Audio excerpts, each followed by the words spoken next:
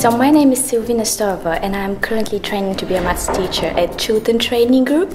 Um, I graduated from Brunel University, studied financial mathematics and I love maths. I decided to want to be a teacher really the last year of my degree.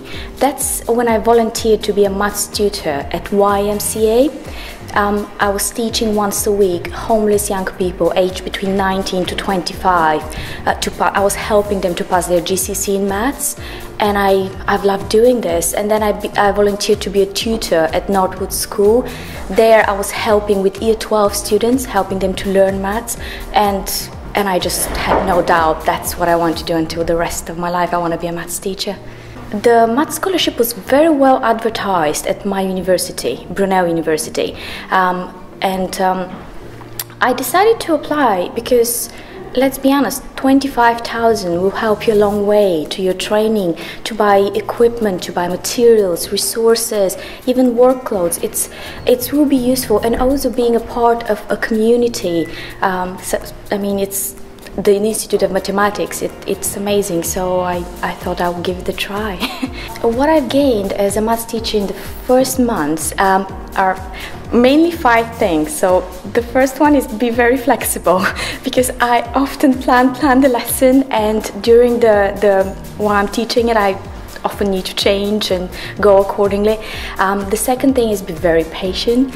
Um, I, I learned not to take personally if students are misbehaving.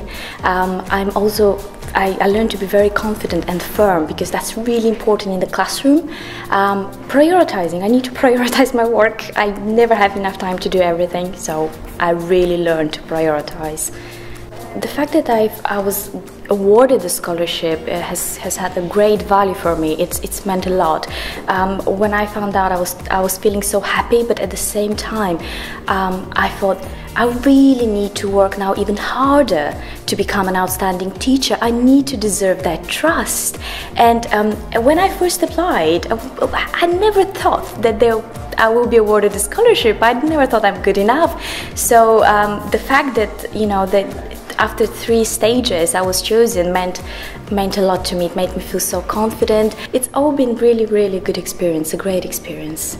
I really would like to encourage anyone who feels they, they want to be a maths teacher and they enjoy doing maths, go and apply for the scholarship.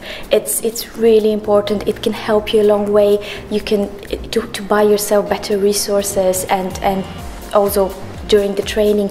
And most importantly you will be a part of a community that love maths just as much as you do. So you will be able to share the experience together. So go and don't doubt yourself. Give it a try. Apply for the scholarship